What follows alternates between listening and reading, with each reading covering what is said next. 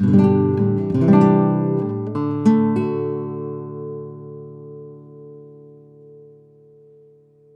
ihr Lieben und herzlich willkommen zum Einschlafen Podcast Episode 562. Ich bin Tobi. Ich lese euch heute Goethe vor aus der italienischen Reise. Davor ähm, ein bisschen Rilke. Äh, Engel heißt das heutige äh, Gedicht von Rilke, was ich vorlesen werde. Und davor erzähle ich euch ein bisschen was, damit ihr abgelenkt seid von euren eigenen Gedanken und besser einschlafen könnt. Und davor gibt es, weil es eine gerade Episode ist, mache ich mich gerade einen Haltungsblock heute zum Thema Hoffnung und Verzweiflung oder Resignation. Ähm, und äh, der kommt jetzt gleich als erstes. Danach, nach dem Haltungsblock und vor dem äh, Reisebericht Oxford, der ja heute ansteht, ähm, erzähle ich aber noch ein bisschen was von meinen Geburtstagsfeierlichkeiten, zu denen ich natürlich auch was sagen muss. Aber erstmal der Haltungsblock. So, und da habe ich heute mal wieder ein schwieriges Thema, weil es auch sehr viel mit Ambivalenz zu tun hat. Das ist ja auch ein Thema, was immer wieder vorkommt. Ambivalenztoleranz wird viel von uns verlangt. Es gibt nicht immer das eine ist richtig, das andere ist falsch. Man, manchmal ist beides richtig oder manchmal ist auch beides falsch. Und das Thema, was ich mir heute vorgenommen habe für den Haltungsblock, ist Hoffnung. Eigentlich will ich im Wesentlichen Werbung machen für einen Podcast, Hopeful News von Haus 1. Ähm, Nicole Diekmann ähm, interviewt dort jede Woche oder bespricht mit äh, wechselnden Gästen die hoffnungsvollen Nachrichten äh, der Woche und das finde ich richtig gut. Aber was ist denn eigentlich Hoffnung und was ist denn eigentlich das Gegenteil davon, also Verzweiflung oder Resignation? Und was davon sollte man denn eigentlich haben? Und ich glaube, hier ist das, ist die Ambivalenztoleranz gefragt, dass man eben äh, beides zulässt. Es gibt große Krisen in der Welt. Es gibt ganz viele Probleme, es gibt ganz viel Furchtbares und hier im Haltungsblock habe ich sehr viel über das Furchtbare gesprochen, ähm, wozu man Haltung haben sollte. Ähm, und das, das ist manchmal schwer zu ertragen. So, und äh, manchmal ist es eben auch nicht zu ertragen. Und dann ist sowas wie Resignation vielleicht auch eine ganz natürliche Reaktion. Ich habe mich gerade gestern Abend mit Christian, meinem Bandkollegen, ausführlich über das Thema Resignation unterhalten. Ähm, und ich glaube, es ist so. Manchmal müssen wir ein Stück weit resignieren und sagen, ich kann hier einfach nicht mehr weiter, ich kann hier nichts tun. Ich muss das jetzt so hinnehmen. Ähm, und trotzdem glaube ich, dass das andere eben auch richtig ist. Das Resignation ist natürlich ähm, manchmal notwendig, aber nicht als äh, Lösung für alles, sondern meine Grundhaltung ist immer die der Hoffnung. Meine Grundhaltung ist immer, ich möchte noch etwas verändern. Ich möchte Probleme nicht einfach so hinnehmen. Ich möchte, am Ende möchte ich Hoffnung haben, dass, dass es gut wird, dass wir den richtigen Weg finden, dass wir Probleme gelöst bekommen. Denn ohne Hoffnung ähm, haben wir, glaube ich, keinen Antrieb mehr, äh, Dinge wirklich zu bewegen. Ne? Und auch wenn man wenn es sich manchmal so ein, anfühlt, als könnte man eigentlich nichts mehr bewegen und verändern, äh, ist Hoffnung dann, dann doch ganz gut. Die Frage ist nur, woher nehmen wir nicht stehlen? Also Hoffnung, wo kommt die denn eigentlich her? Und äh, da ist zum Beispiel so ein Podcast wie der von Nicole Diekmann, äh, Hopeful News bei Haus 1, ähm, dann doch ganz, ganz hilfreich, wenn man einfach mal schaut, ja, es passieren eben auch noch gute Dinge. Es passieren eben auch noch Dinge, die einem Hoffnung machen oder die Hoffnung bestätigen, die einfach ähm, zeigen, es passieren nicht nur schreckliche Dinge in der Welt, es gibt nicht nur Probleme, sondern Probleme werden eben auch gelöst. Und das finde ich extrem wertvoll. Vielen Dank an dieser Stelle an Haus 1 und insbesondere Nicole Diekmann für diesen Podcast. Das freut mich sehr, dass es den gibt und es gibt mir auch Hoffnung. Ja. Ähm, mir wird ja häufig gesagt, dass die Leute gar nicht verstehen, wie ich so viele Dinge tun kann, ne? mit diesen ganzen ähm, Engagement in der Politik und mein Hobby, dieser Podcast ist ja Teil ähm, eines Hobbys. Ich mache das nicht beruflich, sondern ich mache das in meiner Freizeit. Heute ist Freitag, der, ich weiß gar nicht, 24., 25. Ähm, ich glaube, der 25. Oktober. Äh, und heute habe ich frei. Ähm, mein Arbeitgeber gibt irgendwie vier, fünf Mal im Jahr allen Mitarbeitern einen Tag frei. Angefangen hat das in der Corona-Pandemie um uns allen einfach mal einen Tag zum Durchatmen zu geben. Wenn man, man hat natürlich auch Urlaubstage, aber die nehmen wir ja nicht alle gleichzeitig. Das heißt, an so einem Urlaubstag kommen halt trotzdem E-Mails rein, Aufgaben rein und sonst wie was und die muss man am nächsten Tag dann oder nach dem Urlaub irgendwie alle abarbeiten. Und so ein Global Day Off, Global Wellbeing Day, wie wir ihn nennen, ähm, der gibt mir dann äh, Raum zum Durchatmen, zum irgendwie einfach mal frei haben.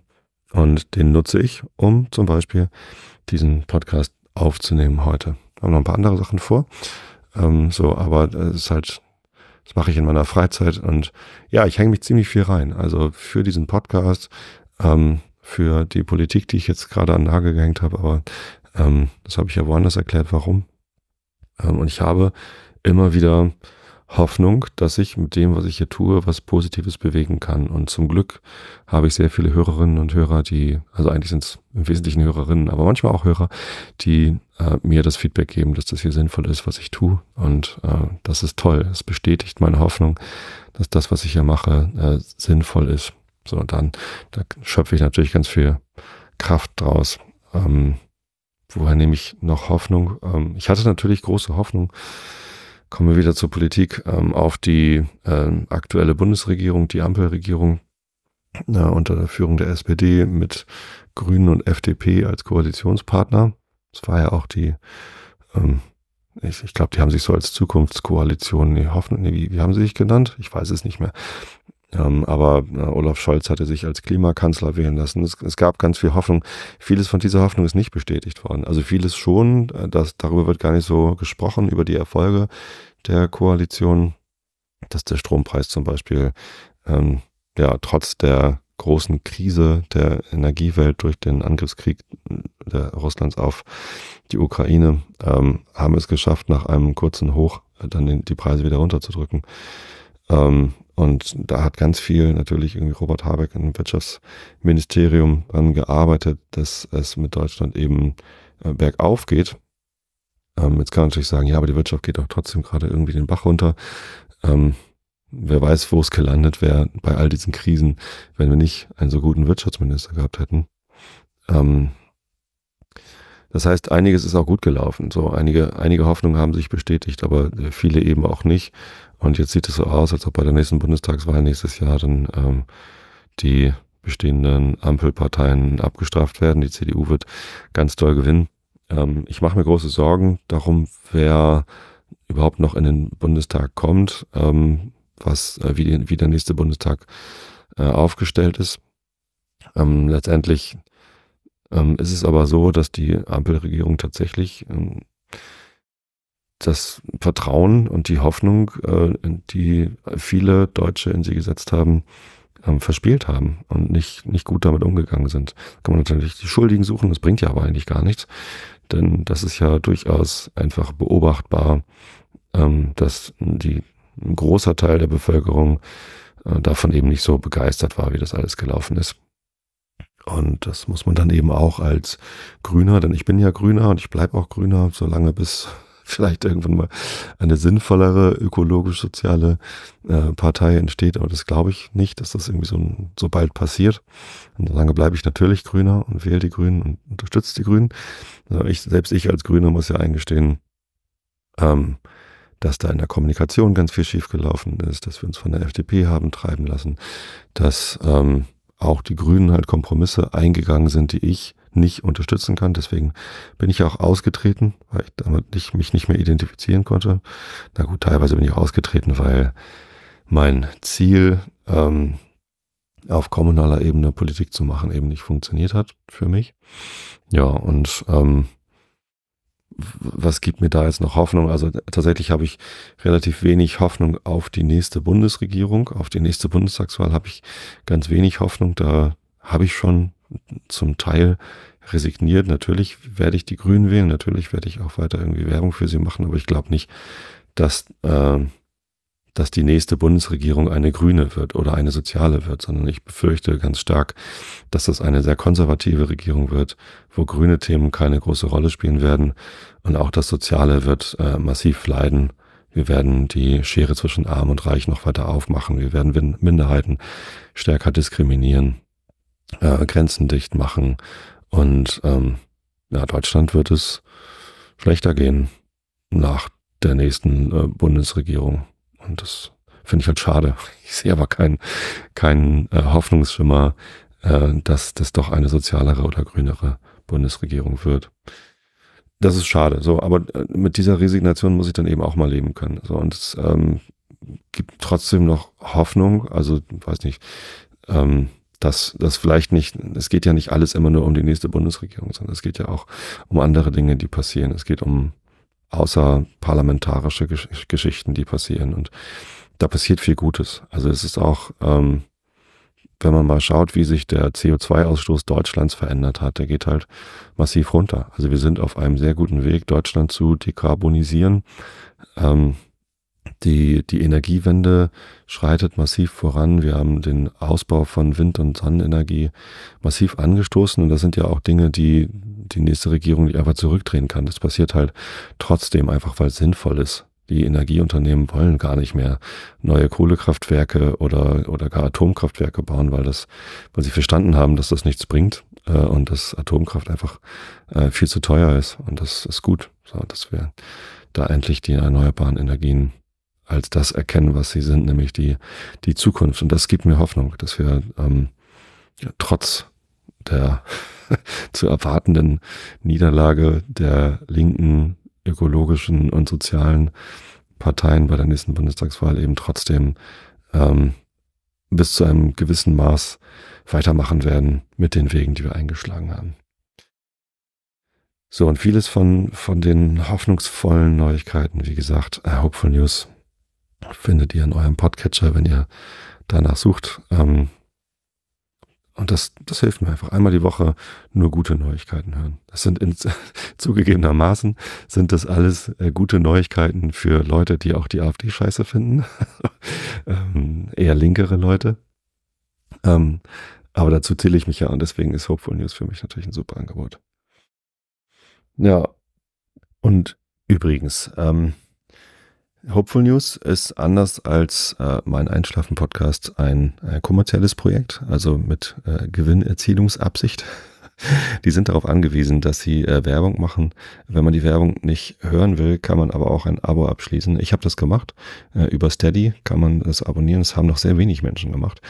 Ähm, kostet irgendwie mindestens vier Euro im Monat und dafür kriegt man jede Woche Hopeful News aufs Ohr ohne Werbung. Ähm, äh, unterstützt das, wenn ihr es genauso sehr mögt wie ich und könnt. Dankeschön.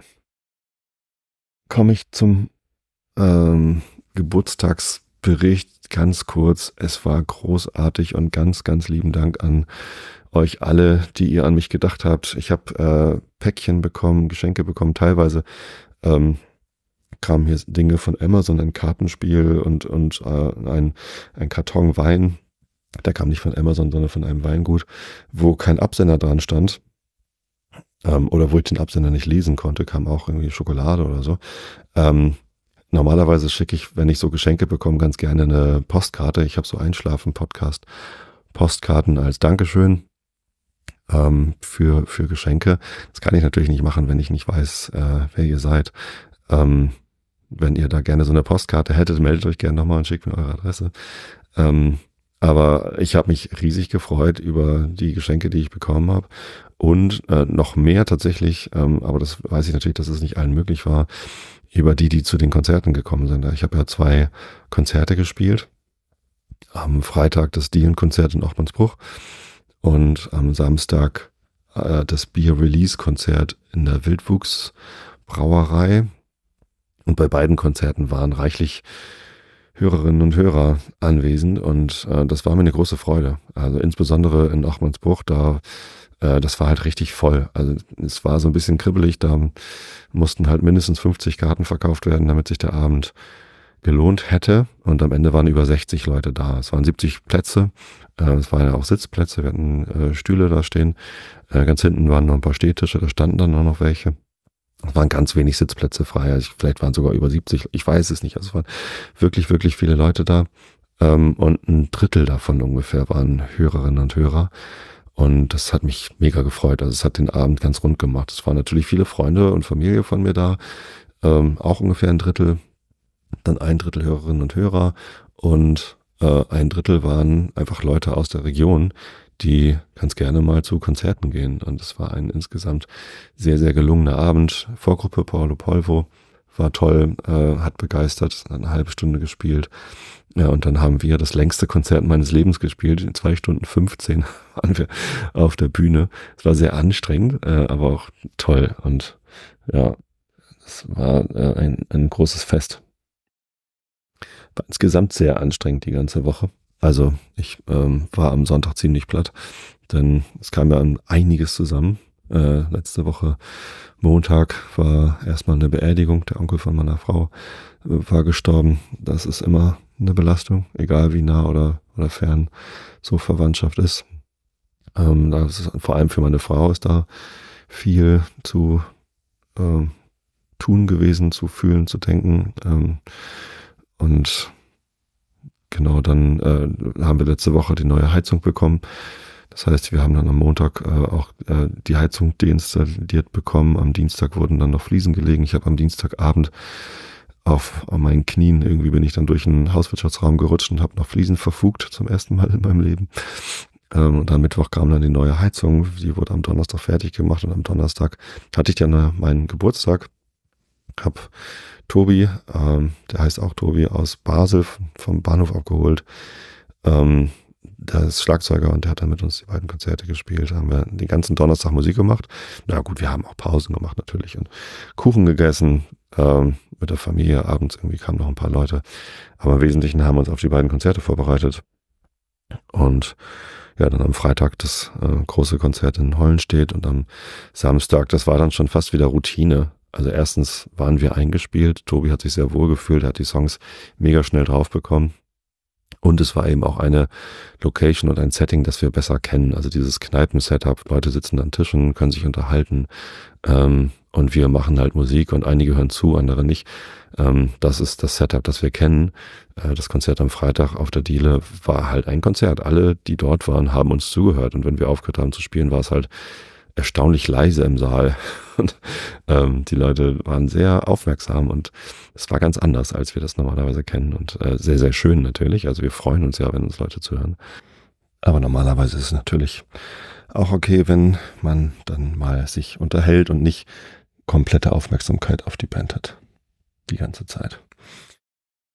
Ja, also ganz herzlichen Dank nochmal an alle, die da waren, die an uns gedacht haben. Wer Lust hat, kann sich ähm, Videos auf meinem YouTube-Kanal angucken, also nicht auf dem Einschlafen YouTube-Kanal, sondern bei Tobi Bayer, verlinke ich auf der Episodenseite mic.fm slash ep562, also mik Martha Ida Konrad Punkt Friedrich Martha Schrägstrich EP, also Einschlafen Podcast 562, die Episodennummer. Da findet ihr die Seite zu dieser Episode mit Links zu Hopeful News, zu den Videos äh, und zu einer Audioaufnahme vom ganzen Abend. Ja, haben uns oft verspielt, uns geärgert. Also kein Song davon ist so gut gelungen, dass wir den direkt auf CD pressen könnten. Ähm, aber CDs braucht eh keiner mehr. Insofern hört es euch an, wenn ihr Lust habt ähm, und ähm, freut euch mit uns darüber, wie, wie gut das alles geklappt hat nach nur einer Probe ja, so, und wenn, wenn ihr meine Stimme hört, dann wisst ihr auch, äh, das hat Tobi ganz schön mitgenommen die ganze Woche. Es ist jetzt eine Woche her. Das erste Konzert war quasi heute vor einer Woche.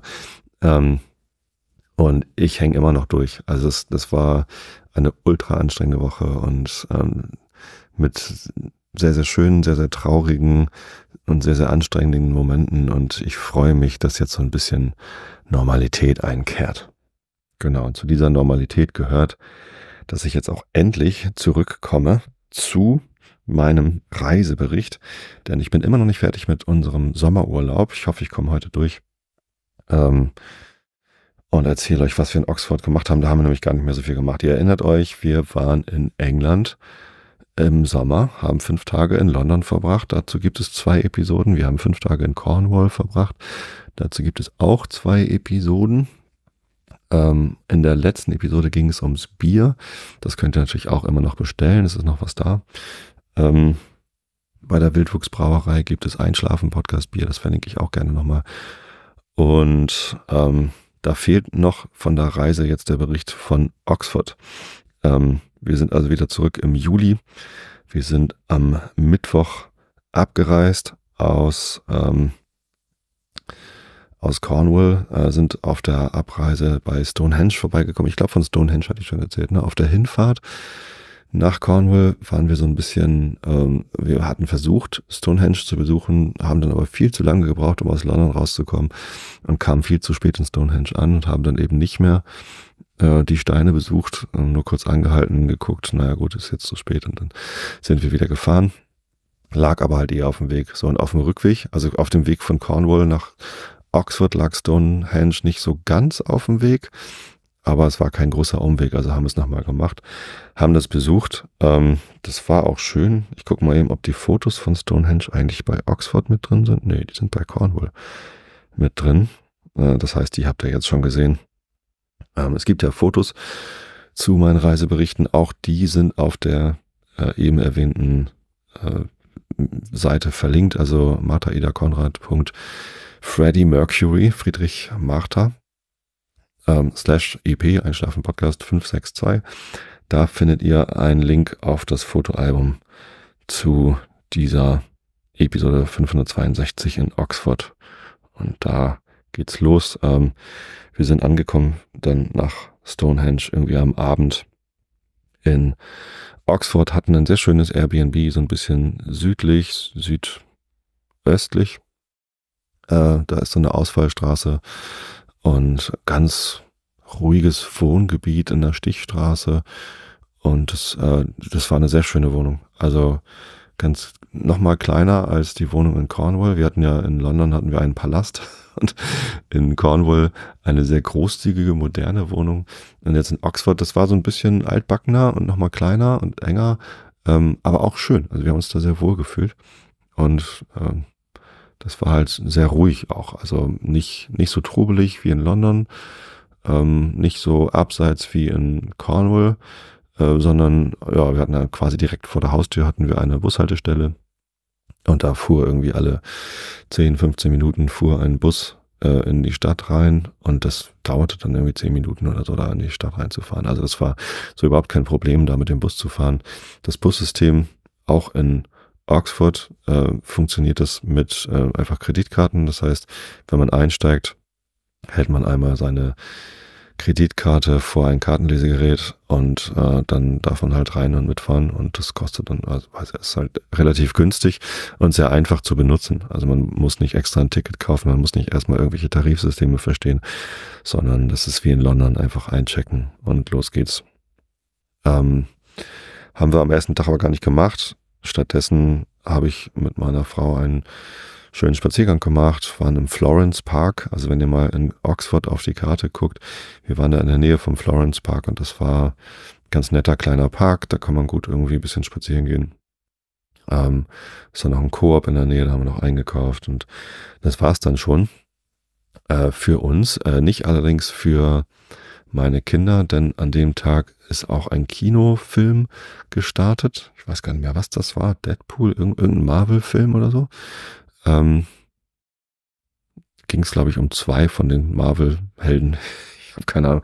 Also ich gucke auch ganz gerne Marvel-Filme, aber ich bin da kein Experte. Und ähm, naja, äh, das Ding war, äh, an, an dem Tag ist es erschienen. Es gab eine Premiere um 0 Uhr in einem Kino in Oxford und meine Kinder wollten ganz gerne hin, weil angekündigt war, dass eine K-Pop-Band irgendwie einen Song zum ähm, Soundtrack dieses Films beigesteuert hat.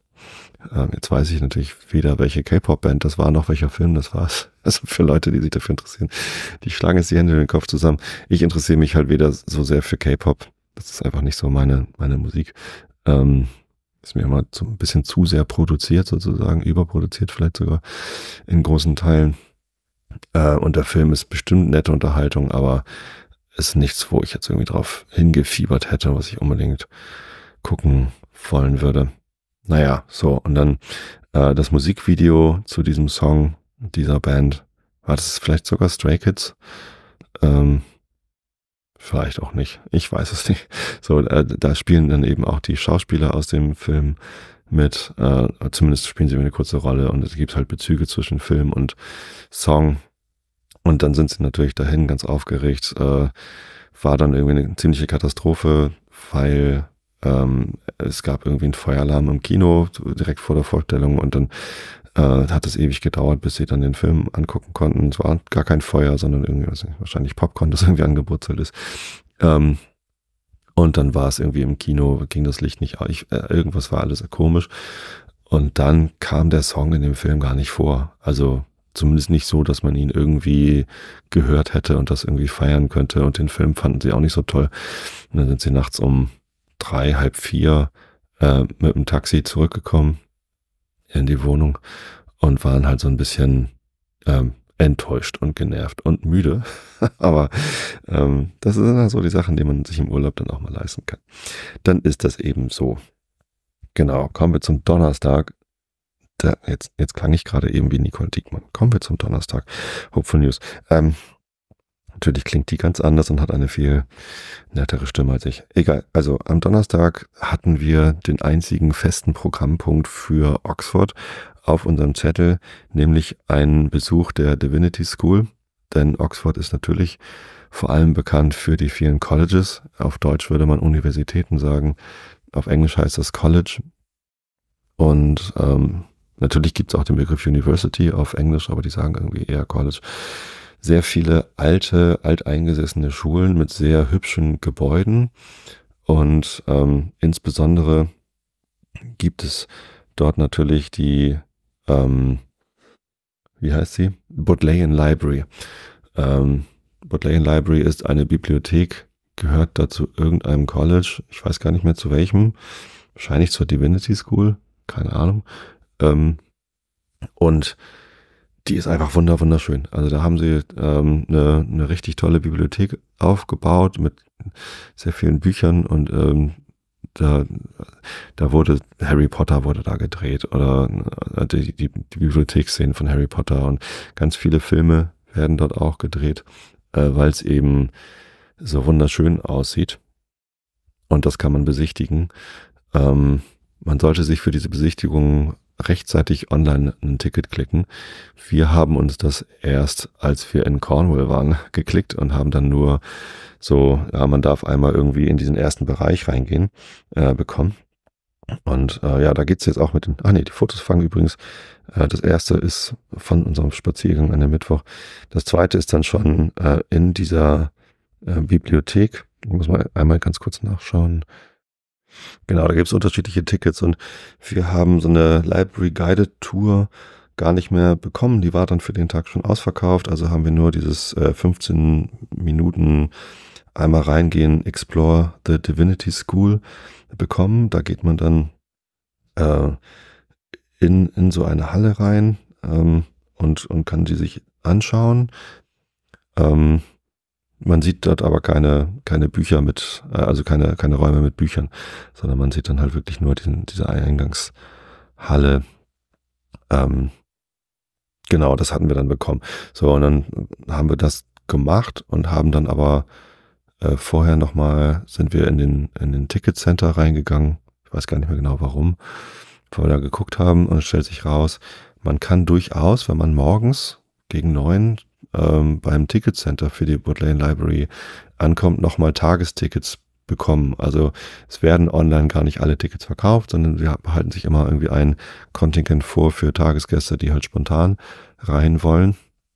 Ähm, die sind dann natürlich auch irgendwann ausverkauft, aber so konnten wir dann für den Nachmittag nochmal tatsächlich äh, Tickets für eine geführte Tour äh, bekommen und ähm, dann durften wir äh, halt nochmal äh, wirklich alles da angucken. Und das war, das war richtig toll. Also äh, Gebäude mit äh, Verzierungen äh, und Möbelstücken, die halt wirklich einfach ähm, sehr besonders sind. ich habe gerade weiter gescrollt, dann kommen irgendwann so Bilder, wo ich äh, vor der Schola Naturalis Philosophiae oder vor der Schola Musicae stehe äh, und auch der Astronomie-Schule. ähm, das sind so Eingangstüren zu den entsprechenden ähm, Schulen, Colleges, wo ähm, traditionell, wenn dann Leute dort ihren Abschluss gemacht haben, ähm, standen sie halt davor und haben ein Foto gemacht oder vielleicht ist es auch heute immer noch so. Ich habe mich einfach so davor gestellt, äh, zumindest bei der ersten äh, Naturalis Philosophie, da habe ich ja einen Abschluss, zwar nicht aus Oxford, sondern aus Hamburg, aber immerhin habe ich da so ernst geguckt, dass ich äh, ja, man fast glauben könnte, ich hätte dort meinen Abschluss gemacht, nur dass ich keinen Talar trage und keinen komischen Doktorhut, sondern meine Mütze und ein schwarzes T-Shirt. Ja, ähm, nee, absolut sehenswert, äh, diese Bibliothek. Es gibt dann ähm, natürlich noch viel mehr Colleges, die man in Oxford besuchen kann äh, und andere Sehenswürdigkeiten. Nach den Fotos von mir in der Bodleian vor der, vor der, vor diesen Türen gibt's die Seufzerbrücke, Sai Bridge. Ähm, die kennt man aus Venedig und interessanterweise äh, gibt's da mehrere Brücken, die dann so ähnlich aussehen, die dann auch so ähnlich heißen. Ähm, und das hier ist halt die von, von Oxford, also durchaus sehenswert. Nach der Seufzerbrücke seht ihr ein Foto von äh, einem Buchladen, Blackwells Bookshop. Ähm, und da waren wir auch, glaube ich, noch. Ja, am, am Donnerstag. Western Library. Ich muss gerade mal nachgucken. Nee, das ist nicht die Western Library, sondern das ist Blackwells Bookshop. Genau, äh, das ist ein, ein Buchladen direkt quasi neben dem Sheldonian Theater und der Bodleian Library. Äh, unfassbar groß. Äh, man geht rein und denkt, okay, hier ist ein Buchladen. Dann geht man irgendwie eine Treppe runter und sieht dann den Raum, den ich da äh, fotografiert habe. Ähm, unfassbar schöne große, äh, nicht Bibliothek, sondern Buchladen. Haben wir auch ein paar Bücher gekauft. Und ähm, das geht dann unterirdisch noch weiter und dann kann man über die Straße gehen. Da ist dann der Science Fiction und, und Manga-Laden und das ist also wirklich eine sehr, sehr große, äh, ein sehr, sehr großer Buchladen, wo man sich allein da schon irgendwie einen Tag aufhalten kann. Das hat mir, hat mir sehr gut gefallen. Genau. Und in der, in der Western Library, da wo es eben auch die Tickets gibt für die Bodleian Library, da haben wir dann noch eine Ausstellung über äh, Kafka gesehen und über ähm, Treasury Cutting. Ähm, also in der Treasury, also im, im äh, da, da war ein, eine Ausstellung über Cutting, also wie, wie Texte historisch äh, bearbeitet worden sind, also Revisionen von Texten, also ganz viele Autoren. Und dann waren da original Manuskripte ausgestellt, zum Beispiel von J.R. Tolkien äh, aus dem Hobbit oder aus dem Herrn der Ringe. Und da sieht man halt, wie dann handschriftlich vorbereitet worden ist und die Unterschiede der Handschriften, aber eben auch Umgang mit dem Text. Und da ging es halt insbesondere darum, wie hat man den Text revidiert. Und einige haben halt tatsächlich einfach Papier zerschnitten, um Texte dann zu korrigieren. Andere haben sehr viel durchgestrichen, andere haben Platz gelassen, damit andere kommentieren konnten. Und ähm, total wertvoll und äh, kostenlos. Also da kann man dann einfach in diese Ausstellung äh, in der Western Library reingehen und sich da ähm, Kultur gönnen und was lernen und äh, muss nicht mal Eintritt bezahlen. Das war ähm, sehr schön, ja, genau. Ähm, wieder ein ganzer Tag irgendwie auf den Beinen, äh, sehr viel rumgelatscht in der Innenstadt und noch irgendwie ähm, Sachen angeguckt. Ich wäre sehr gerne in die Radcliffe Camera reingegangen. Das heißt, Radcliffe Camera ähm, ist aber gar keine Kamera, sondern es ist auch eine Bibliothek. Ähm, da konnte ich aber nicht rein. Also die waren nicht zugänglich für die Öffentlichkeit. Sehr viele von den Colleges in Oxford kann man äh, besichtigen, aber die meisten nur zu bestimmten Zeiten. Und dann gibt es eben Zeiten, wo man eben gar nicht rein kann oder Tage, wo man gar nicht rein kann. Und das muss man gut planen. Also wenn man nach Oxford fährt, kann man nicht irgendwie spontan sagen, ach, jetzt gehe ich mal hier in, in die Radcliffe Camera. Es kann dann sein, dass das irgendwie die ganze Woche geschlossen ist und erst wieder irgendwie nächsten Monat geöffnet ist oder so. Ähm, ja, einfach ähm, rechtzeitig, äh, am besten irgendwie schon einen Monat vorher mal gucken, wann sind denn die Öffnungszeiten und Öffnungstage der Colleges, die man sich gerne angucken möchte und dann auch gleich Tickets klicken, damit man eben auch rein kann. So. Am Donnerstag, nee, das war jetzt der Donnerstag, ne? Am Freitag haben wir ähm, einen Shopping-Tag eingelegt. Ähm, wir brauchten einen weiteren Koffer für die ganzen Dinge, die wir gekauft haben, äh, um den dann äh, mit nach Hause zu nehmen. Tatsächlich hat Mareile dann den neuen Koffer bekommen, weil der viel größer war als ihr Koffer, mit dem sie angereist war. Und wir haben dann ihren Koffer als weiteren Koffer für uns äh, mitgenommen, um die ganzen Dinge, die wir gekauft haben. Wir haben halt echt viele Bücher, Klamotten, äh, Spiele und alles Mögliche eingekauft und wollten das dann natürlich auch mit nach Hause nehmen. Brauchten wir halt einen weiteren Koffer. Zum Glück hatten wir für den Rückflug ähm, auf äh, Business Class abgegradet. Ähm, war gar nicht so teuer ähm, und man hat halt ein bisschen mehr Platz im Flugzeug und darf vor allem vor Abflug in der Business Lounge äh, sitzen und die ist in Heathrow für British Airways äh, wirklich sehr nett. Da gibt's gutes Essen, viele Getränke und da kann man ein bisschen entspannter sich auf den Abflug vorbereiten. Und man darf eben zwei Koffer aufgeben statt einen pro Person. Also so viele Koffer braucht man jetzt auch nicht, aber ein zusätzlicher Koffer war dann halt mit drin und das war dann ganz gut. Den haben wir gekauft. Ähm, es gibt ein großes Einkaufszentrum in Oxford, das heißt äh, Westgate und das ist ein großer, eine große Mall, ein großer Shopping Center. Da haben wir den Koffer gefunden, noch ein bisschen abgehangen, äh, Sachen gekauft. Ähm, und weil Mareile am Samstag ähm, abgereist ist, sind wir äh, am Freitag dann endlich dazu gekommen, unsere D&D-Kampagne zu spielen. Denn Sky wollte ja sehr gerne Dungeons and Dragons mit uns spielen. Äh, ich hatte das als Jugendlicher mal gespielt. Jetzt bin ich 50, also es ist ewig her. Ähm, aber Sky ist irgendwie auf den Dungeons Dragons Trip gekommen, Pen and Paper äh, Würfelspiel. Also man muss sehr viel würfeln, um irgendwie ja, Zufallssituationen zu äh, bewerten. Hatten uns ja auch extra in London noch äh, Würfel gekauft, um das zu spielen. Sehr schöne Würfel sind das gewesen. Man braucht halt spezielle Würfel, nicht nur sechsseitige Würfel, sondern auch zwanzigseitige Würfel und äh, vierseitige und zehnseitige und was weiß ich was alles. also ein ganzes Würfelset braucht man dann immer.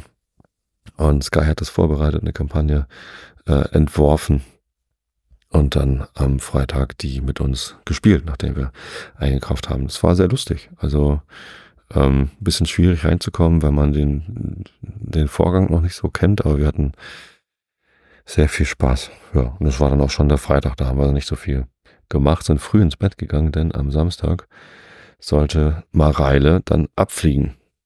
Ist sie auch. Also um es vorwegzunehmen, jetzt kommt ein bisschen Katastrophenbericht äh, und ähm, es ist aber am Ende alles gut gegangen. Also, Mareile hatte einen Flug sehr früh am Samstagmorgen, ich glaube 8 Uhr oder so, oder 8.30 Uhr, äh, ich weiß es nicht mehr genau. Ähm, und natürlich will man, wenn man einen Koffer abgeben will, rechtzeitig am Flughafen sein. Also zwei Stunden vorher äh, war so die Idee. Und wir haben halt in Oxford gewohnt und von Oxford zum Flughafen haben wir so ungefähr eine Stunde, anderthalb irgendwie Anreise gerechnet. Also sind wir irgendwie um 4 Uhr oder 4.30 Uhr sind wir irgendwie aufgewacht. Stellt sich raus, Mareile hat äh, am Vorabend um 22.30 Uhr, da waren wir dann schon im Bett, eine SMS und eine E-Mail bekommen von British Airways, dass ihr Flug ausfällt und dass sie ähm, automatisch umgebucht werden könnte auf einen anderen Flug ähm, um 8 Uhr 45, äh, irgendwie, äh, die Uhrzeit war irgendwie kurz danach. Sie müsste nur auf einen Link klicken und dann sei das irgendwie schon passiert. Ähm, diese SMS und die E-Mail haben wir aber erst dann nachts um vier, als wir schon aufgestanden waren, um loszufahren, gesehen und hat, dann hat mich erstmal gefragt, so ist das echt oder ist das irgendwie Scam oder was ist das hier? Soll ich da draufklicken? Ich habe da irgendwie auch nur irgendwie nachts um vier so drauf geguckt, so ja, das sieht authentisch aus und hat Mareile darauf geklickt und war dann umgebucht. Leider hatte sie nicht darauf geachtet, dass das kein Flug am Samstag war, sondern ein Flug am Dienstag. Also ähnliche Uhrzeit, aber erst irgendwie drei Tage später, auf den sie dann umgebucht war. So hatte sie das aber akzeptiert, ohne drauf zu gucken, dass das Datum auch stimmte. Und das war natürlich schlecht, so, weil sie wollte sich dann einchecken in diesen Flug und das ging nicht, weil Check-in noch gar nicht geöffnet war. Ich habe dann probiert, dort anzurufen. Das geht natürlich erst ab acht. Und dann habe ich gedacht, na gut, dann äh, fahren wir halt einfach auf gut Glück zu um acht Uhr. Ähm, zu diesem äh, Flughafen hin und schauen mal, wie wir mal rein nach Hause kriegen. Denn die musste am Montag arbeiten und es war halt irgendwie unmöglich, dann ähm, den, äh, den Flug erst am Dienstag zu nehmen. Ja, also wäre halt sehr, sehr schlecht gewesen. So, dann sind wir also äh, zum Flughafen gefahren, weil ich dachte, naja, da, die haben ja ein ganzes eigenes Terminal, British Airways, Terminal 5 in Heathrow. Da wird man dann mit irgendwem sprechen können und das erklären können, dass wir aus Versehen diese Umbuchung angenommen haben, dass wir dringend einen Flug an diesem Tag brauchen oder spätestens am Sonntag. Ähm, von, von London nach Köln. So, und ähm, dort gibt es aber niemanden. Wir sind dann da hingefahren und äh, im, im, ganzen Terminal gibt's halt keinen Ticketschalter. Es gibt nur so ein paar Leute, die einem irgendwie angeblich helfen, aber die helfen einem halt nicht, sondern die geben einem nur eine Telefonnummer und man muss alles telefonisch machen bei British Airways. So, die Telefonnummer hatten wir schon vorher. War furchtbar und dann ähm, haben sie uns aber noch eine andere Telefonnummer gegeben, wo man angeblich schneller dran kommen sollte. Kam man aber gar nicht schneller dran. Ähm, das war ziemlich blöd und äh, ziemlich schwierig für uns, das irgendwie zu, ähm, zu verknusen. Wir saßen dann also äh, am Terminal 5 in Heathrow und hingen in der Warteschleife für British Airways äh, Ticketing. Und das hat irgendwie dann nochmal eine Dreiviertelstunde gedauert, bis ich da jemanden ans Telefon bekommen habe. Dem haben wir die Situation dann beschrieben und der musste dann erstmal klären, ob aus Kulanzgründen eine weitere Umbuchung möglich wäre und ob es dann überhaupt Flüge gibt. Ja, und ähm, der musste dann mit seinem Manager sprechen, haben wir nochmal eine halbe Stunde gewartet, bis er mit seinem Manager gesprochen hatte und dann hieß es ja, aus Kulanzgründen darf dieser Flug nochmal umgebucht werden. Das hätte ich ansonsten auch wirklich sehr unverschämt gefunden, dass sie einem irgendwie nachts eine SMS schicken und die muss man dann irgendwie morgens erstmal verstehen und äh, aufpassen, dass es irgendwie auch das richtige Datum ist, auf das man da umgebucht wird.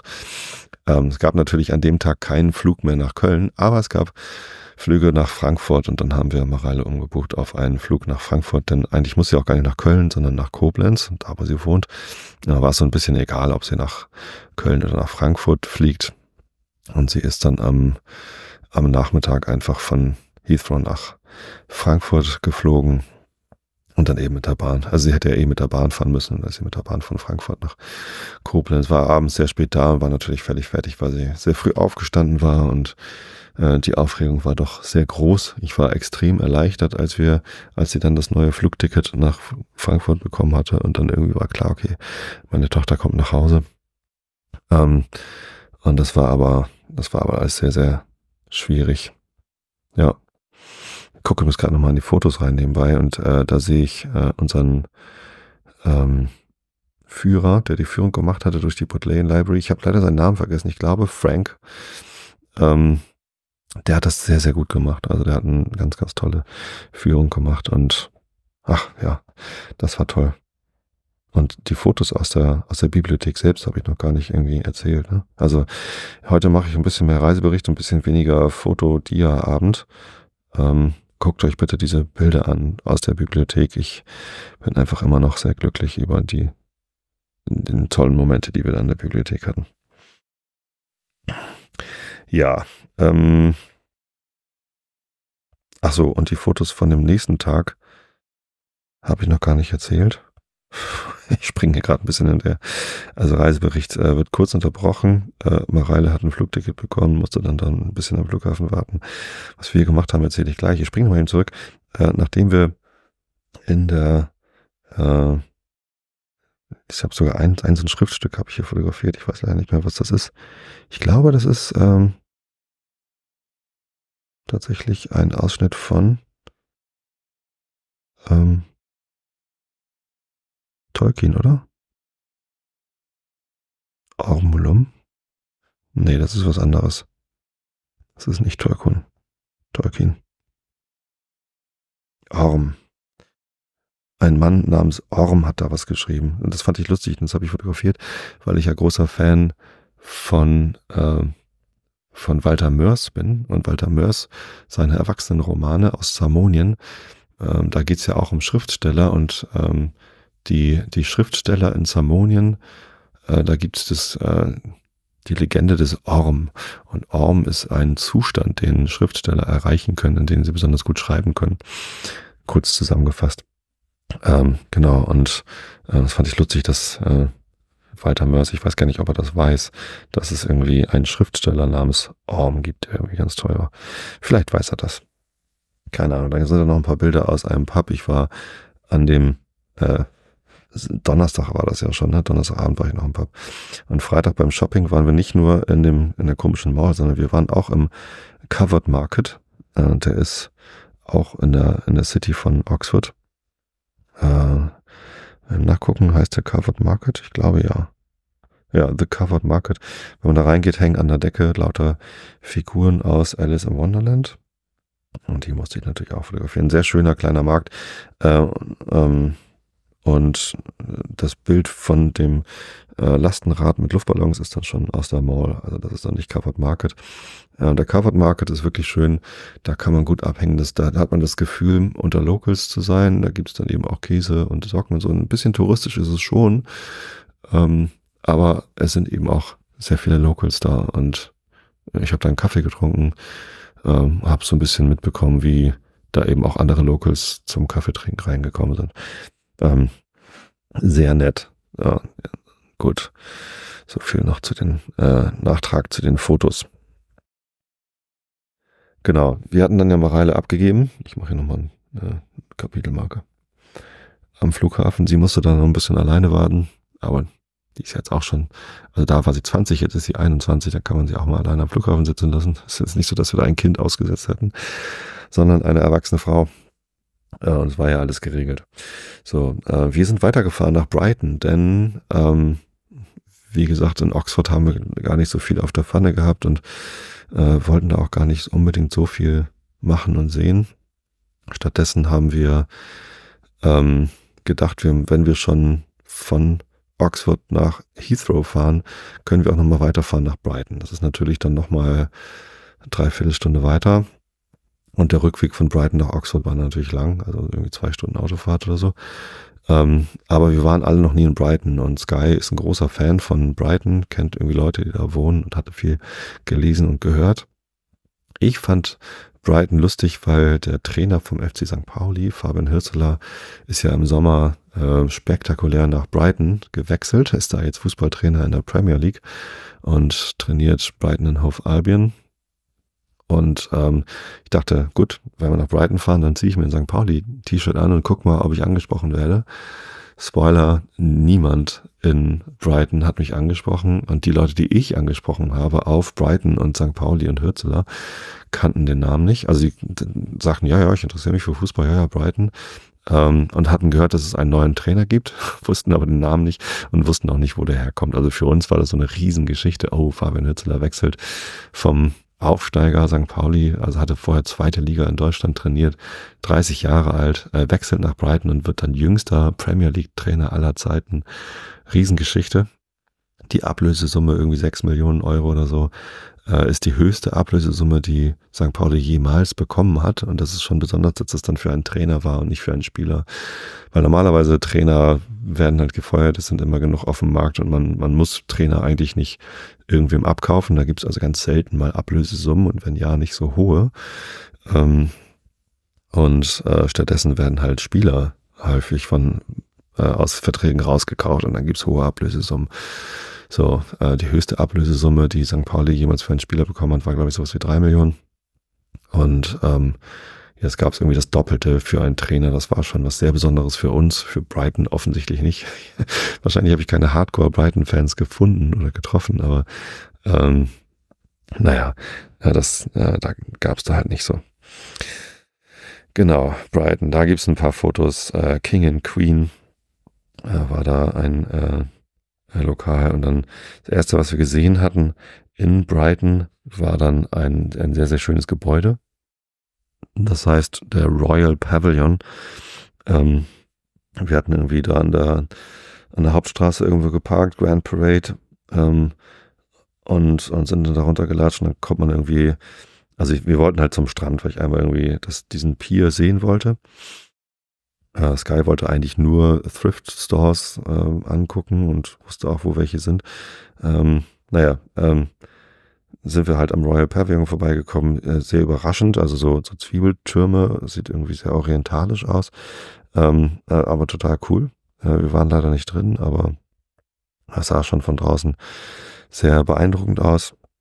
Sind dann weitergegangen runter zum Strand und das war ehrlich gesagt ziemlich furchtbar. Also es war ein sehr heißer Tag, schöner Sommertag. Ähm, Und am Strand war es rappelvoll. Das sieht man jetzt auf den Fotos gar nicht so sehr. Es gibt ein Foto, das ich drin habe vom Brighton Palace Pier. Da sieht man so ein bisschen, dass da sehr viele Leute waren. Aber insgesamt war da am Wasser waren einfach wahnsinnig viele Menschen. Also es war rappelvoll. Na gut, es war ein Samstag, es war Urlaubszeit, es war ähm, äh, fantastisches Wetter. Und es gibt dann offenbar sehr, sehr viele Reisegruppen, die, ähm, die dort irgendwie, also haufenweise Menschen ausspucken. Also sehr viele äh, Schülergruppen, Jugendgruppen, Reisende aus Asien, Reisende aus Amerika, äh, die dann da irgendwie äh, busweise angekarrt werden. Ja, da haben wir uns nicht, nicht so richtig wohlgefühlt, ehrlich gesagt. Es war sehr anstrengend. Äh, wir waren natürlich auch müde, weil wir ja so früh aufgewacht waren, um Mareile nach Heathrow zu bringen ähm, und dann diese ganze Eskalation gehabt haben. Das war irgendwie ähm, ganz schön, ganz schön anstrengend alles und entsprechend konnten wir dann mit diesen Menschenmassen da überhaupt nicht richtig umgehen. Ja, stattdessen haben wir auch in Brighton einen überdachten Markt gefunden, der heißt Open Market, interessanterweise. Äh, und äh, das war noch netter als der Covered Market in, äh, in, in Oxford. Also da noch mehr Community, noch mehr ähm, Locals, die dort einkaufen, Kunst, ganz viel Kunst. Und davon gibt's auch ein paar Fotos. Da war so ein, so ein großes äh, so ein großer Schrank mit lauter kleinen Türchen und hinter jeder Tür war halt irgendwie ein kleines Kunstwerk von unterschiedlichen Künstlern, äh, teilweise sehr skurril.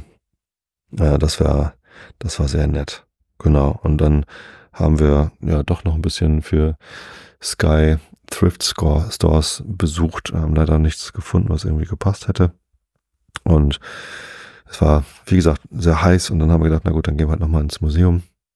Ähm, direkt da bei dem Royal Palace gibt es das Oxford Museum, ähm, wo eine sehr äh, durcheinander Ausstellung war. Also das, das Museum selbst war ähm, interessant, aber voll und, und vollgestopft mit lauter Dingen. Also da waren dann so ein paar Dinosaurierknochen, weil ja dort am, am Strand auch sehr viele Dinosaurierknochen entdeckt worden sind. Aber es war irgendwie nicht so sortiert und irgendwie strukturiert wie ähm, das Natural History Museum in London, sondern irgendwie vollgewrumst und, und, und alles durcheinander. Also ähm, ich habe mich da nicht so richtig zurechtgefunden in diesem äh, zugegebenermaßen auch kleinen Museum. Aber es war irgendwie so ein bisschen überladen. Was mir allerdings im Museum sehr gut gefallen hat, war eine Ausstellung über ABBA. Denn ähm, es ist genau 50 Jahre her gewesen. War das 50 Jahre? Naja, klar, also 1974 hat aber den Eurovision Song Contest gewonnen und äh, mit Waterloo, äh, da sind sie groß rausgekommen. Vorher, vorher kannte die keiner. Äh, damals war es so, dass der Eurovision Song Contest, ich glaube, der hieß noch anders, äh, Chanson de la Eurovision oder so. Wahrscheinlich hieß der immer schon auf Englisch Eurovision Song Contest und wir sind in Deutschland irgendwann umgeschwenkt, den von Französisch dann auch auf Englisch zu benennen. Wie auch immer, zumindest ähm, war das halt 50 Jahre her. Ähm, und ähm, das ist halt in Brighton passiert. Also dass die, der Eurovision Song Contest 1974 war in äh, Brighton und äh, darauf sind die natürlich stolz, dass aber in Brighton groß rausgekommen ist.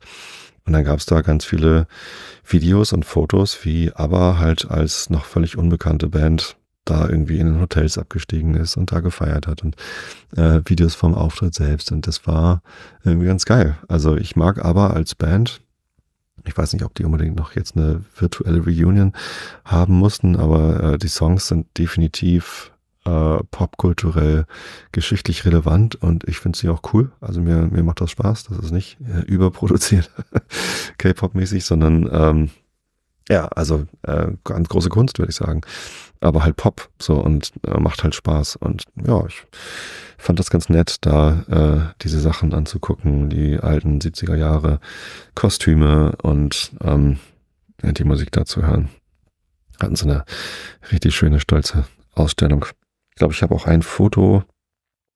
Äh, ist das in der Liste drin? Nee, habe ich gar nicht. Äh, von dem Hotel, wo sie abgestiegen waren, hatte ich ein Foto gemacht. Genau, aber ich habe ein Foto hier von, von dem Original, aber Schlagzeug aus den 70ern. Ja, ja, und ganz viele Eindrücke da von den Straßen. Doch, wir waren doch nochmal am Strand und da habe ich dann dieses Foto vom Grand Hotel gemacht, äh, wo ABBA drin gewohnt hatte. Ja, genau. Also Brighton bietet sich an für Street Photography. Da gibt's auch ganz viele Märkte auf den Straßen, wo man einfach dann äh, fotografieren kann und Spaß haben kann. Ja, ähm, zurück in Oxford war ich dann, ist das der gleiche Tag? Muss ich mal eben nachgucken. Das Datum. Äh, ja, genau. Bin ich dann nochmal spazieren gegangen, habe noch ein Foto von dem Florence Park gemacht in Schwarz-Weiß mit den hübschen Bäumen dort.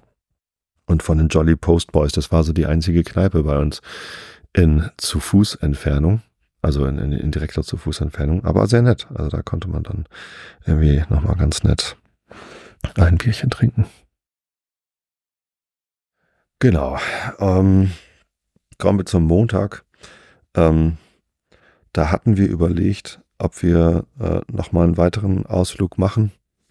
Ähm, aber es, es war eh schon alles, alles viel und auch irgendwie zu viel. Und wir haben dann gesagt, na gut, jetzt äh, machen wir mal wirklich einen ruhigen. ja, das schon, auch das hat natürlich äh, nicht, nicht unbedingt geklappt. Ähm, aber ähm, relativ ruhig. Denn also das ist nochmal eine absolute Empfehlung, wenn ihr nach Oxford fahrt und einen entspannten Tag haben wollt und das Wetter gut ist, dann lege ich euch ans Herz den Oxford Botanic Garden. Ähm, das ist nochmal eine Sache, die man, die man durchaus besuchen kann. Der ist deutlich kleiner als die Lost Gardens of Halligan in Cornwall, die wir besucht hatten. Da muss man ja irgendwie, also wenn man alles gesehen haben will, mehrere Tage verbringen. Oxford Botanic Garden ist deutlich kleiner, aber wunderschön angelegt, auch sehr vielfältig und sehr, sehr strukturiert und sehr, sehr ordentlich, ähm, aber halt auch klein und kuschelig. Und wenn ich in Oxford leben würde, hätte ich garantiert eine Jahreskarte für diesen Botanic Garden, denn da kann man sich einfach auf eine Bank setzen und ins Grüne schauen und Ruhe genießen. Man sieht äh, im Hintergrund immer den Magdalen Tower. Ähm, Habe ich bestimmt auch auf irgendeinem Foto mit drauf. Also erstmal sind da ganz viele Bilder von den Gewächshäusern die man sich angucken kann. Äh, das eine Bild, wo ich eine Kaffeepflanze fotografiert habe, da wollte ich ganz witzig meinen Kaffeebecher mit reinhalten. Äh, leider ist der Kaffeebecher unscharf, weil die Blende zu weit auf ist. Bei Blende 2 hätte ich den Kaffee näher an die Kaffeepflanze halten sollen. Hat nicht so gut geklappt, das Foto. war sehr dunkel in dem, äh, in dem Raum. deswegen konnte ich das dann auf dem Display nicht so gut erkennen. Aber Kaffee mit Kaffee. Sehr witzig, genau. So, und ähm, wenn man dann weiter guckt, dann äh, kurz vor dem Rotkehlchen, wo ich eigentlich das Rotkehlchen auf der Bank fotografieren wollte, stattdessen den Typ bekomme und das Rotkehlchen ist unscharf. das Rotkehlchen war sehr frech. Also meine Kamera war, weiß nicht, vielleicht 30 Zentimeter von dem Rotkehlchen entfernt. Und ich glaube, das Rotkehlchen dachte, ich will es füttern oder so. Es war sehr äh, unängstlich vor, äh, vor Menschen. Ja, dann habe ich dann den Typen, der an seinem Handy gespielt hat äh, scharf gemacht. Äh, davor das Bild, da sieht man den Magdalen Tower vom Magdalen College hinten im, im Hintergrund. Ja, ähm, da haben wir uns, weiß nicht, zwei, drei Stündchen aufgehalten und einfach nur in die Blumen geschaut. Ähm, es gibt dann irgendwie so eine Grinsekatze, die im Baum sitzt und es gibt einen, äh, ja, weiß ich nicht, äh, die, die Schriftsteller, die in Oxford gelebt haben, waren da alles so ein bisschen repräsentiert. Ähm, mochte ich sehr, sehr gerne. Ein kleines Café.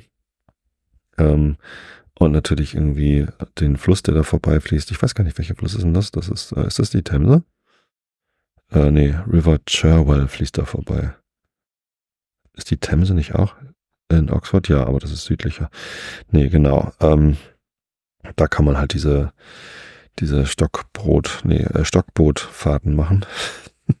Wie heißen die denn auf Englisch? Ähm, weiß ich nicht.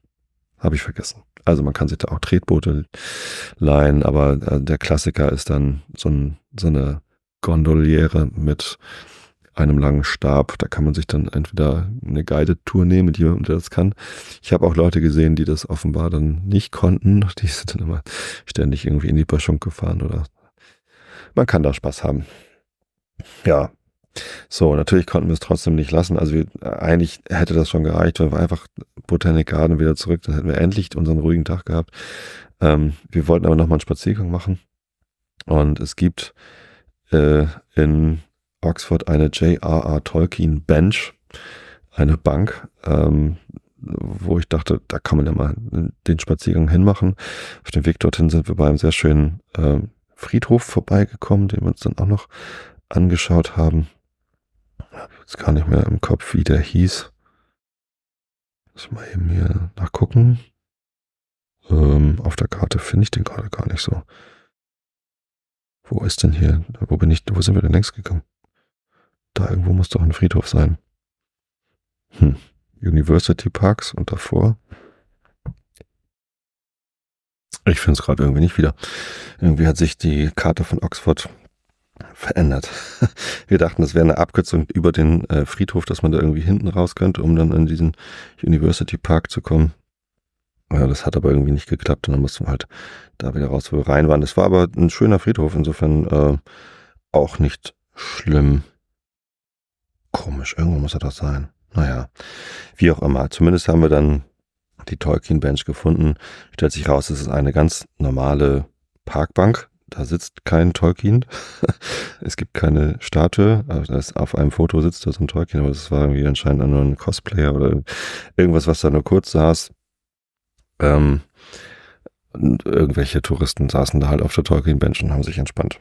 So, ähm, ganz normale Parkbank wo halt J.R. Tolkien saß hier irgendwie draufsteht oder so. Eine kleine Plakette habe ich da gesehen. Egal. Ähm, genau. Äh, trotzdem schöner Spaziergang. Auf dem Rückweg haben wir dann gedacht, na gut, jetzt äh, kommen wir hier am Magdalen College vorbei. Der Tower war schön. Vielleicht kann man da hoch.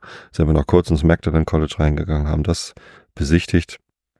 Ähm, haben ein paar schöne Fotos gemacht. Äh, Im Magdalen College gibt es dann so einen Kreuzgang und eine Bibliothek. Äh, die sind auch mit im Album drin.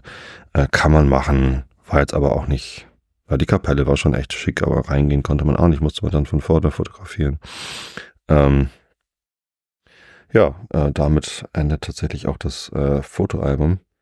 Ähm, wir haben ähm, tatsächlich an dem Dienstag, als wir dann zurückgeflogen sind, äh, morgens nochmal das Pitt Rivers Museum besucht. Ähm, äh, sehr, sehr bekannt, äh, kostenloser Eintritt, es wird um Spenden gebeten, kann man dann auch gut machen. Äh, wir sind halt erst am späten Nachmittag oder Abend zurückgeflogen äh, mussten dann irgendwie Zeit überbrücken. Wir mussten halt vormittags aus der Wohnung raus, haben dann die, die Koffer ins Auto geladen, sind nochmal in die Stadt, haben das Pitt Rivers Museum angeguckt, auch nochmal voll mit äh, Knochen von Dinosauriern und Menschen und Affen und allem Möglichen. Ähm, und eine Riesenausstellung mit irgendwie historischen Schwertern und alles Mögliche. Also auch sehr voll, auch sehr, sehr rummelig und ähm, leider aber nicht klimatisiert. Ähm, sehr warm und sehr stickig und sehr voll und naja, gut. Ähm, ganz nett. Da drin waren, also es war gerade ja irgendwie ähm, Semesterferien, vorlesungsfreie Zeit, keine Ahnung. Und dann waren da zwei Postdocs, zwei wissenschaftliche Mitarbeiterinnen von irgendeinem College in Oxford und haben äh, Mikroskope aufgebaut gehabt, so dass man als Besucher also es war eher für Kinder, aber ich habe dann auch gefragt, ob ich mal darf. Und, und dann waren da Mikroskope und man konnte irgendwie den Flügel einer Biene oder menschliches Blut oder so konnte man dann durchs Mikroskop beobachten und so ein bisschen äh, Wissenschaft erfahren. Also es ist natürlich nicht das, was Wissenschaftler wirklich tun, irgendwie Bienenflügel durchs Mikroskop anschauen. Aber äh, die haben so ein bisschen Publicity-Arbeit für die Colleges gemacht.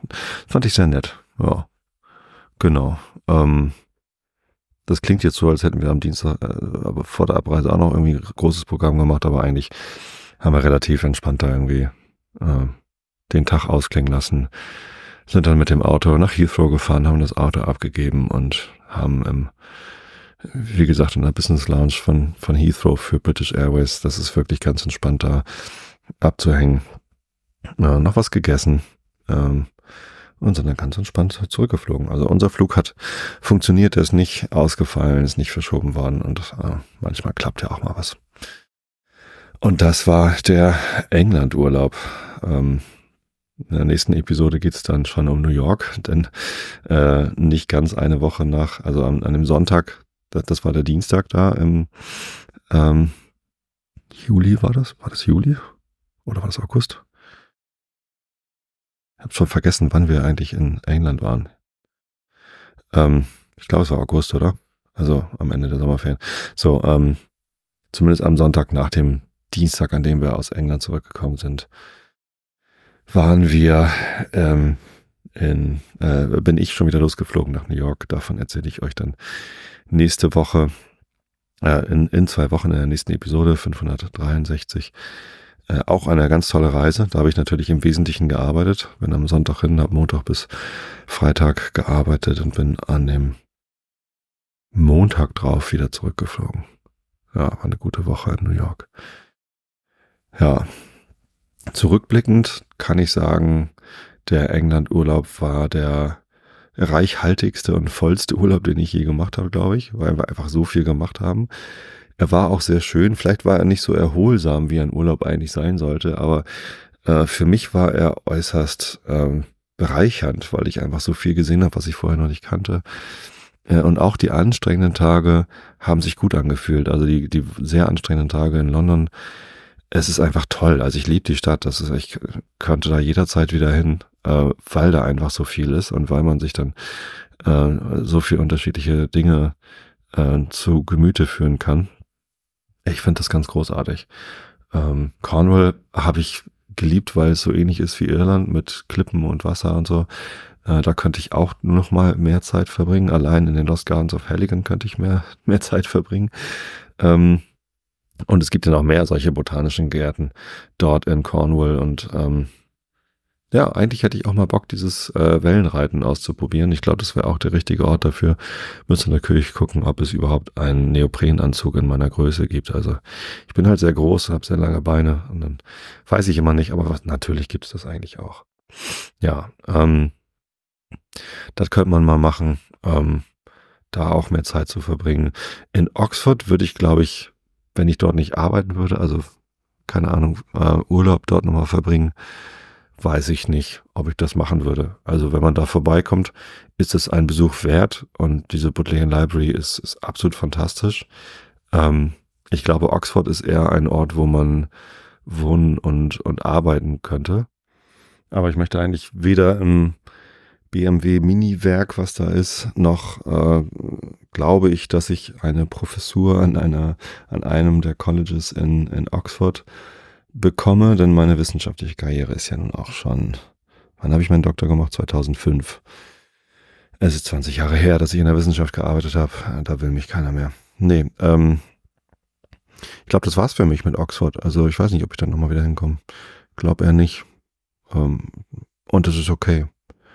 Brighton, uh, weiß ich nicht, ob ich nochmal nach Brighton fahre. Das war schon auch sehr anstrengend.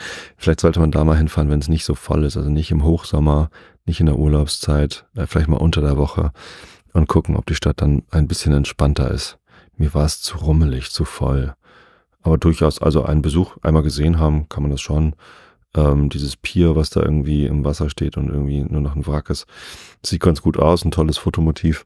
Äh, leider war das Licht nicht besonders spannend. Das war mittags, als ich irgendwie da war und das fotografiert habe. Ähm, Fotografie war toll in diesem Urlaub. Also ich hatte ja zwei Kameras dabei, meine Z8 und die ZF, beide von Nikon und irgendwie großen Schwung Objektive.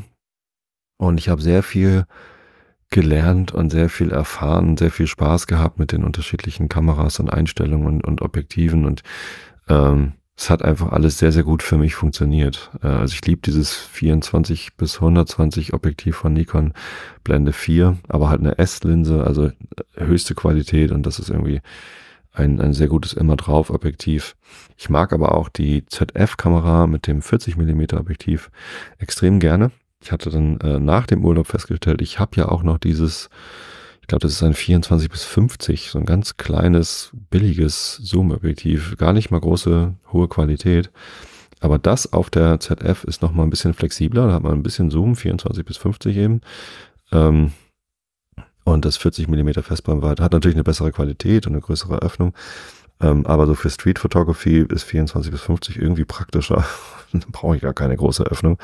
Also da ist dann die, die Blende irgendwie äh, bei 50 ist es, glaube ich, 5,6 oder so. Stelle ich einfach die Blende auf 8. Sonne lacht, Blende 8. Alles gut. Ähm, ja, es ist, also die ZF mit einem kleinen Objektiv ist einfach wirklich schick. Und so habe ich das dann eben auch in, in New York gemacht. Davon erzähle ich dann ja nächstes Mal. Aber ich hatte mir dann nach diesem Urlaub gedacht, hey, in New York nehme ich halt nur die ZF mit, die Z8, die ja deutlich größer und schwerer ist, lasse ich einfach zu Hause äh, und nehme auch nur weniger Objektive mit. Also da hatte ich dann natürlich nicht das große 180 bis 600 Zoom Objektiv, was ich eigentlich auch nur einmal in Cornwall benutzt hatte.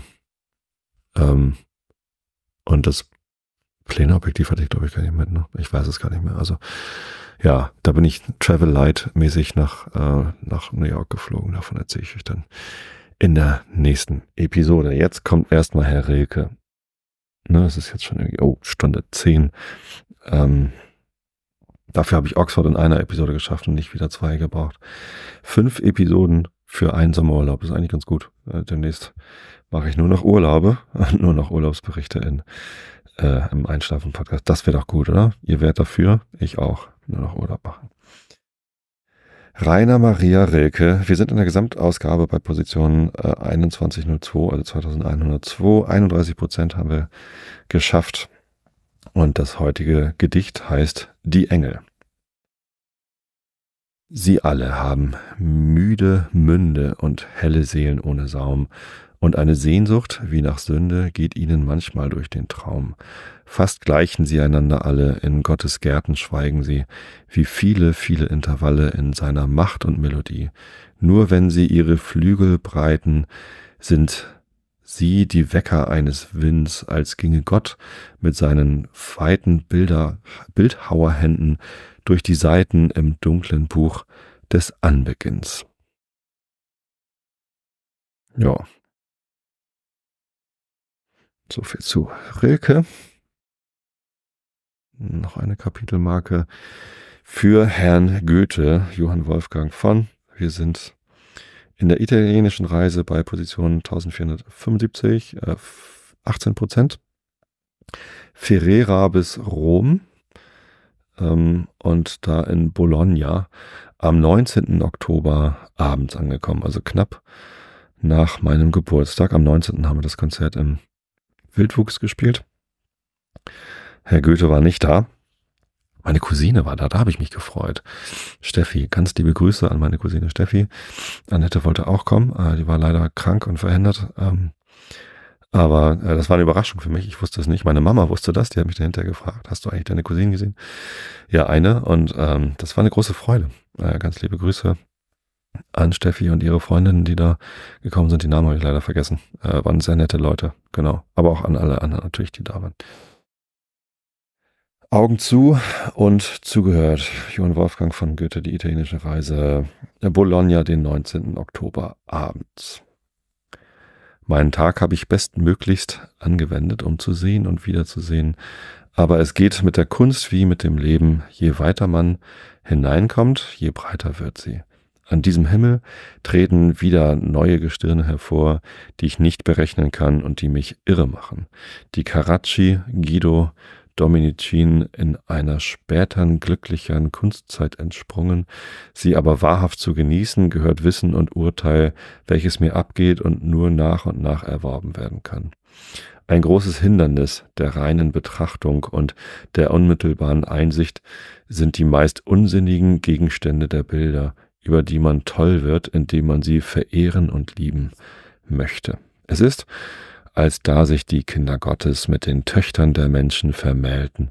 Daraus entstanden mancherlei Ungeheuer, indem der himmlische Sinn des Guido, sein Pinsel, der nur das Vollkommenste, was geschaut werden kann, hätte malen sollen, dich anzieht, so möchtest du gleich die Augen von den abscheulich Dummen mit kleinen Scheltworten der Welt genug zu erniedrigenden Gegenständen wegkehren.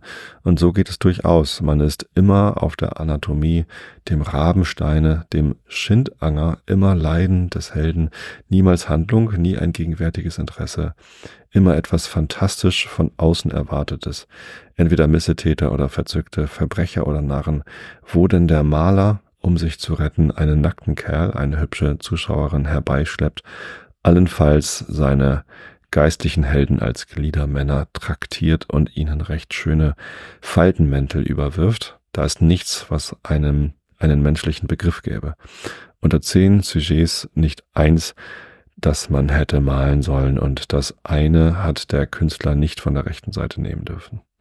Das große Bild von Guido in der Kirche, der Mendi, Mendicanti, ist alles, was man malen, aber auch alles, was man Unsinniges bestellen und dem Künstler zumuten kann. Es ist ein Votivbild. Ich glaube, der ganze Senat hat es gelobt und auch erfunden. Die beiden Engel, die wert wären, eine Psyche in ihrem Unglück zu trösten, müssen hier Gedankenstrich und Absatzende. Aha. Der heilige Proklos, eine schöne Figur, aber dann die anderen Bischöfe und Pfaffen. Unter Unten sind himmlische Kinder, die mit Attributen spielen. Der Maler, dem das Messer an der Kehle saß, suchte sich zu helfen, wie er konnte, er mühte sich ab, nur um zu zeigen, dass nicht er der Barbar sei. Zwei nackte Figuren von Guido, ein Johannes in der Wüste, ein Sebastian, wie köstlich gemalt, und was sagen sie? Der eine sperrt das Maul auf und der andere krümmt sich. Betrachte ich in diesem Unmut die Geschichte, so möchte ich sagen, der Glaube hat die Künste wieder hervorgehoben, der Aberglaube hingegen ist Herr über sie geworden und hat sie abermals zugrunde gerichtet. Nach Tische, etwas milder und weniger anmaßlich gestimmt als heute früh, bemerkte ich Folgendes in meine Schreibtafel. Im Palast Tanari ist ein berühmtes Bild von Guido, die säugende Maria vorstellend über über Lebensgröße der Kopf, als wenn ihn ein Gott gemalt hätte. Unbeschreiblich ist der Ausdruck, mit welchem sie auf den saugenden Knaben heruntersieht. Mir scheint es eine stille, tiefe Duldung, nicht als wenn sie ein Kind der Liebe und Freude, sondern ein un untergeschobenes himmlisches Wechselkind nur so an sich zehren ließe, weil es nun einmal nicht anders ist und sie in tiefster Demut gar nicht begreift, wie sie dazu kommt. Der übrige Raum ist durch ein ungeheures Gewand ausgefüllt, welches die Kenner höchlich preisen. Ich wusste nicht recht, was ich daraus machen sollte. Auch sind die Farben dunkler geworden. Das Zimmer und der Tag waren nicht die hellsten. Unerachtet der Verwirrung, in der ich mich befinde, fühle ich doch schon, dass Übung, Bekanntschaft und Neigung mir schon in diesen Irrgärten zu Hilfe kommen. So sprach mich eine Beschneidung von Guercin mächtig an, weil ich den Mann schon kenne und liebe. Ich verzieh den unleidlichen Gegenstand und freute mich an der Ausführung gemalt, was man sich denken kann, alles daran respektabel und vollendet, als wenn's Emaille wäre. Und so geht's mir denn wie Bileam, dem konfusen Propheten, welcher segnete, da er zu fluchen gedachte, und dies würde noch öfter den, der Fall sein, wenn ich länger verweilte. Trifft man dann gar wieder einmal auf eine Arbeit von Raphael oder die ihm wenigstens mit einiger Wahrscheinlichkeit zugeschrieben wird, so ist man gleich vollkommen geheilt und froh. So habe ich eine heilige Agathe gefunden, ein kostbares, obgleich nicht ganz wohl erhaltenes Bild. Der Künstler hat ihr eine gesunde, sichere Jungfräulichkeit gegeben, doch ohne Kälte und Rohheit. Ich habe mir die Gestalt wohl gemerkt und werde ihr im Geiste meine Iphigenie vorlesen und meine Heldin nichts sagen lassen, was diese Heilige nicht aussprechen möchte. Ja, bis dahin vielleicht.